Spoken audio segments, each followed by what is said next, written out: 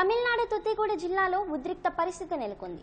Satellite copper తవ్వకాలకు వ్యతిరేకంగా వందవ రోజు ఆందోళనలు కొనసాగుతున్నాయి. ఆందోళన తీవ్ర ఉద్రిక్తలకు దారితీయడంతో ఆందోళనకారులపై పోలీసులు కాల్పులు జరిపారు. పోలీసులు జరిపిన కాల్పుల్లో ఒకరి మృతి చెందారు. పలువురికి గాయాలయ్యాయి. పోలీసుల తీరుకు నిరసనగా కలెక్టరేట్ ధ్వంసం చేశారు ఆందోళనకారులు. కలెక్టరేట్ వద్ద యాభై వాహనాలకు నిప్పు పెట్టారు. దీంతో తుత్తికూడలో విద్యుత్ సరఫరా నిలిపివేశారు అధికారులు జిల్లా వ్యాప్తంగా వన్ ఫార్టీ ఫోర్ సెక్షన్ కొనసాగుతోంది